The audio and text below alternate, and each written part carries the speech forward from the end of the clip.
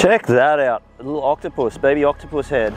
Scott just caught a nice strawberry grouper here in the shallows, jigging the, the new Squidtrex. As he gets it up boat side, it regurgitates this little octopus. And that's what we're using here, it's match the heart. Show me your lure there, Scott. Looks, look at the color of that.